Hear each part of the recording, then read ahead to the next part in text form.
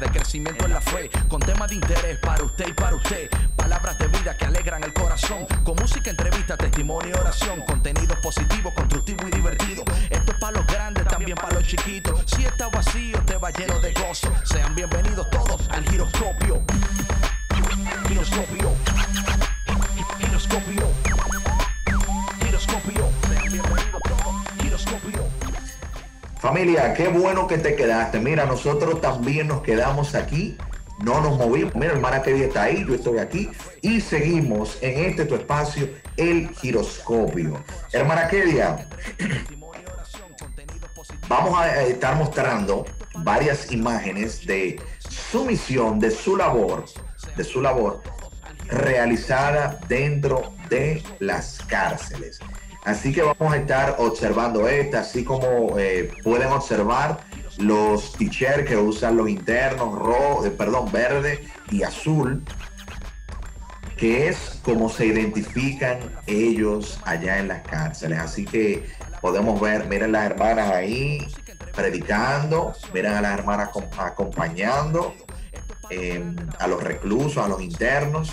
Y es muy importante esto, que nosotros podamos eh, copiar estas cosas que hacía Jesucristo.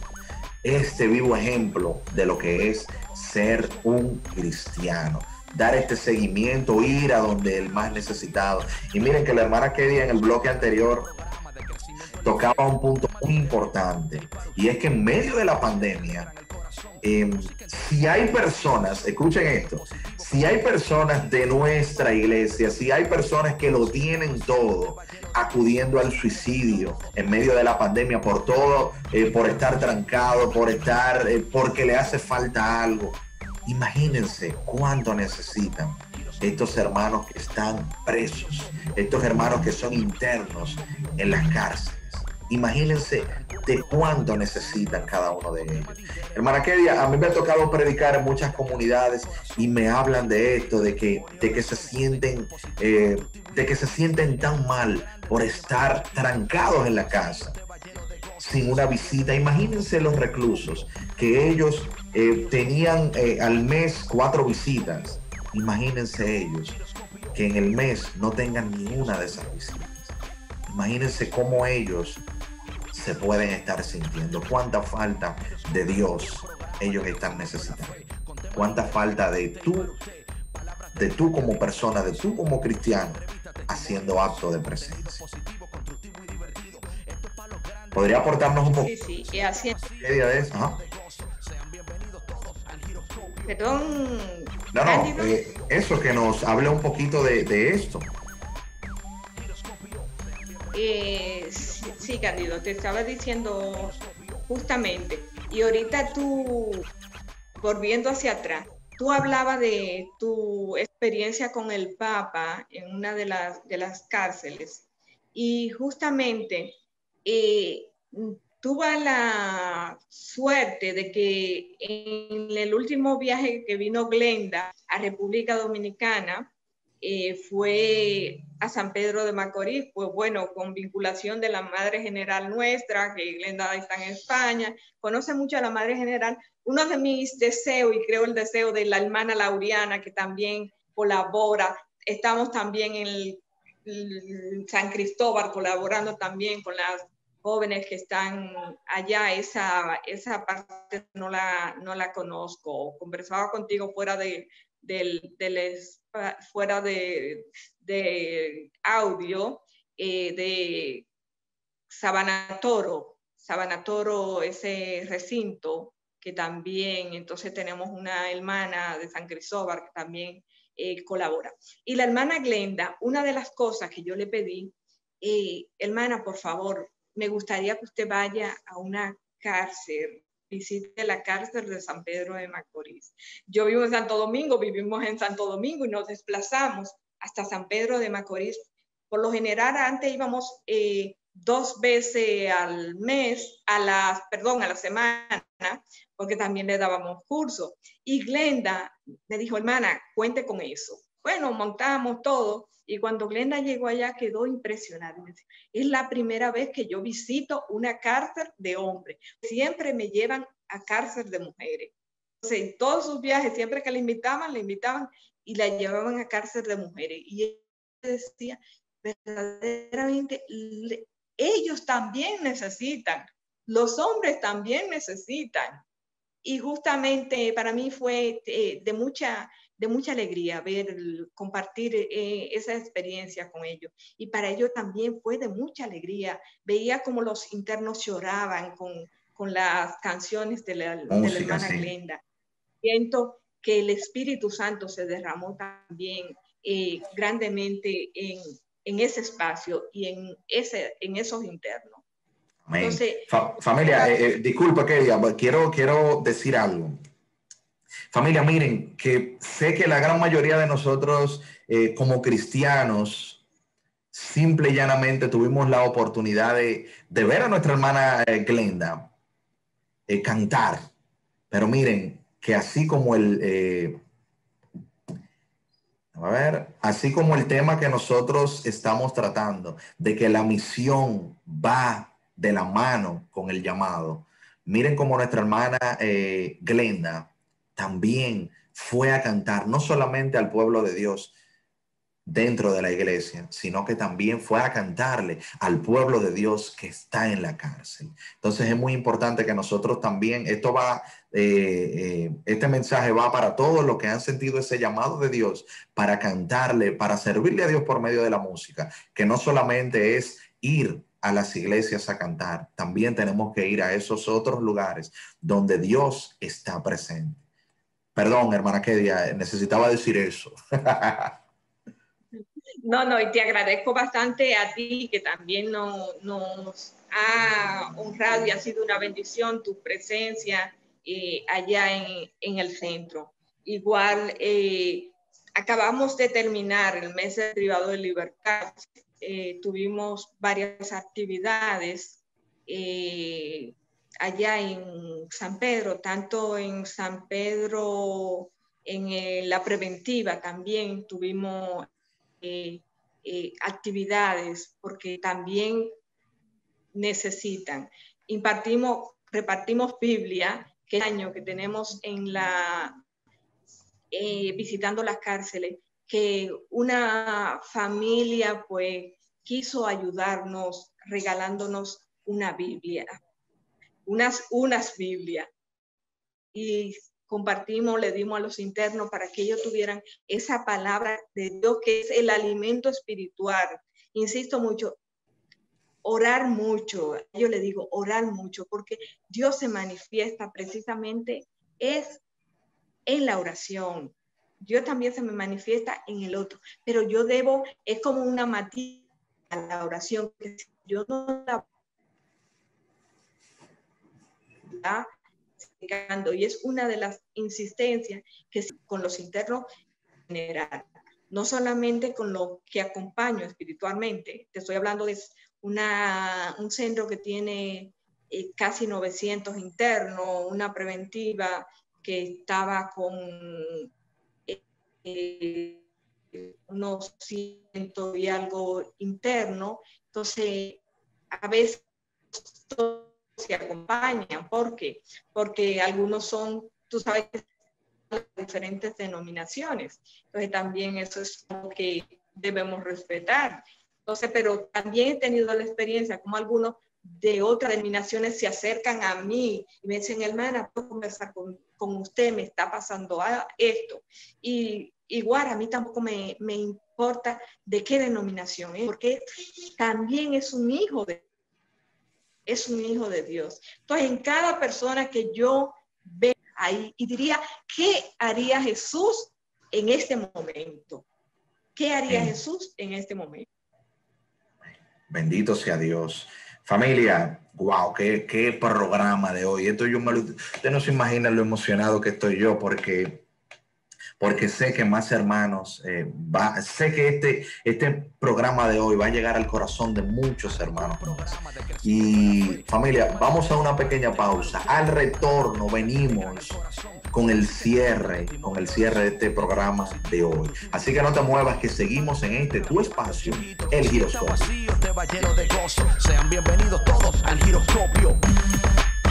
Giroscopio. Giroscopio.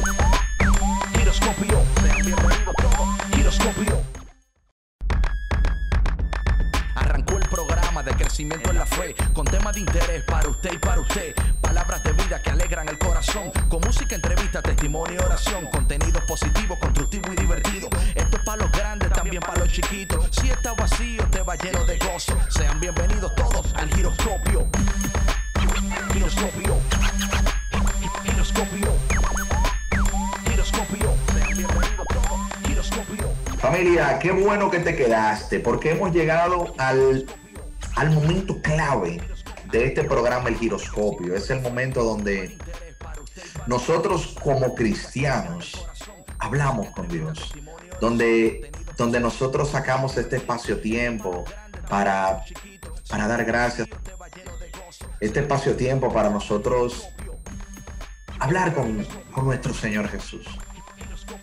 Y ahí, de verdad, en tu casita, yo quisiera, yo quisiera pedirte que, que en conjunto con nosotros puedas unirte a este momentito de oración.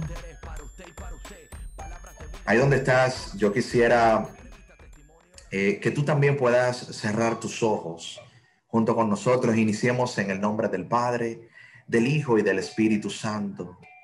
Amén.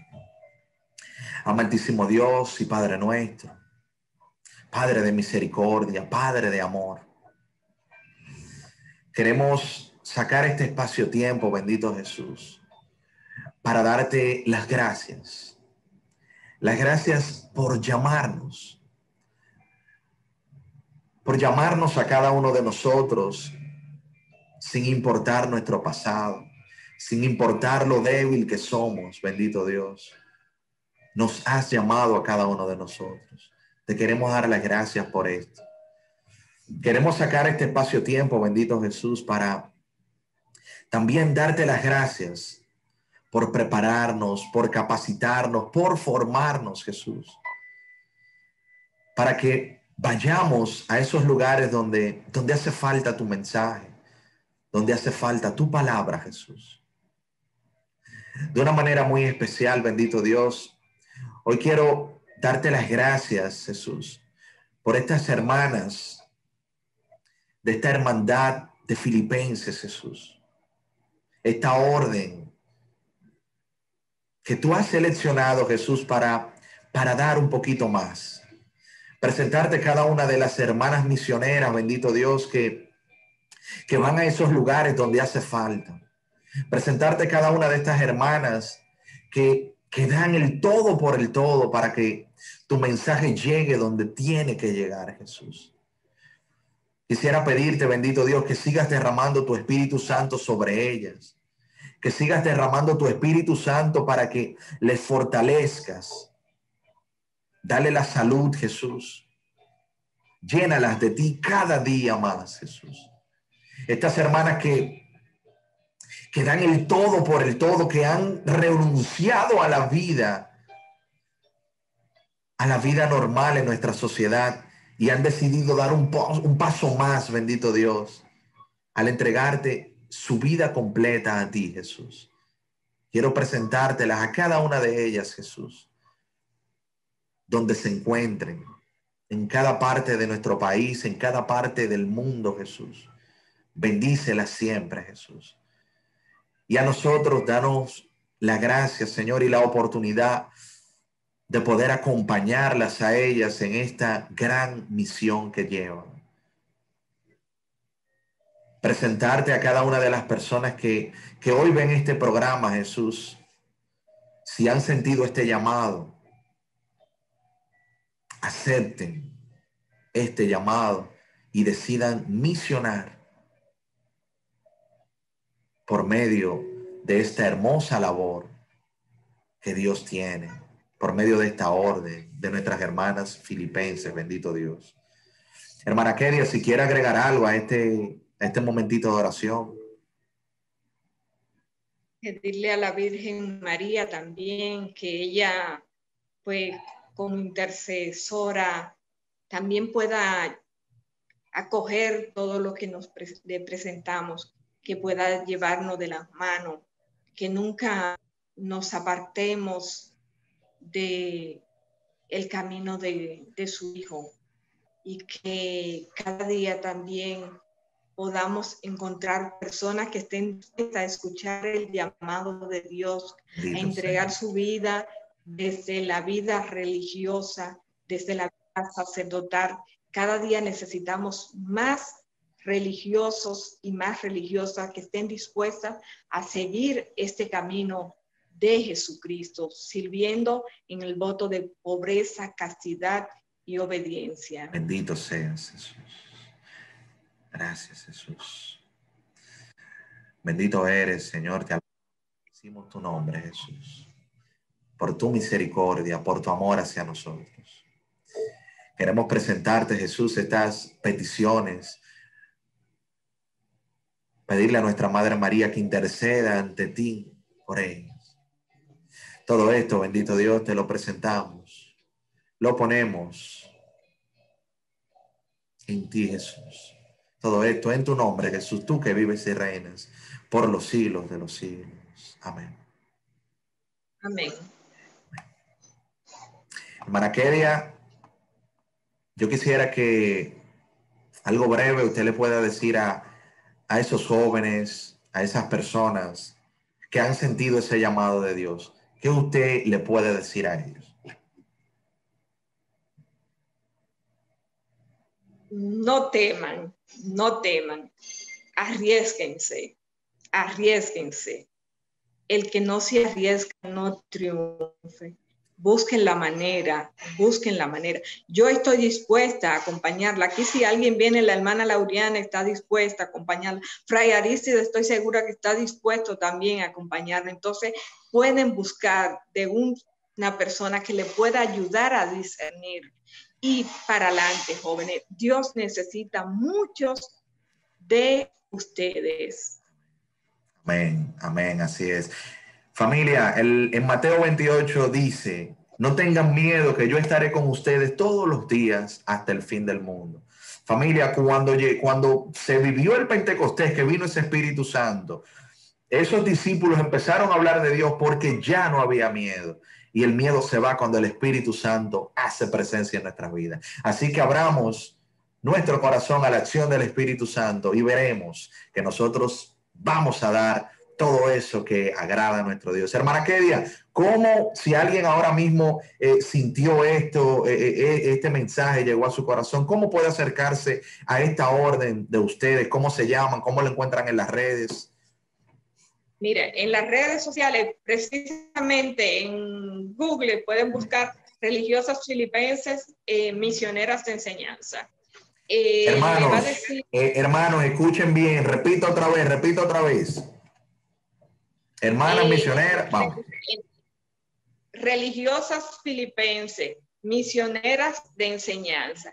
Y se pueden comunicar con nosotras en el teléfono, que no va a estar en, en las redes sociales, por ejemplo, en eso, al 688-7092. 688-7092. Mírenlo ahí, nosotros sí se lo vamos a poner aquí, mírenlo aquí, mírenlo ahí. Así que ya ustedes saben. Familia. en, en Facebook eh, pueden buscar la, Kedia, Kedia Mercedes, y ahí igualmente también me, me pueden ubicar. Excelente. Familia, muchas, pero muchas bendiciones. Que Papá Dios de verdad haya enviado este mensaje a cada uno de ustedes. Hermana Kevia, gracias por la oportunidad, gracias por compartir con nosotros. Hey, esto es el giroscopio por aquí, por Televida, el canal católico de la familia. Bendiciones, familia.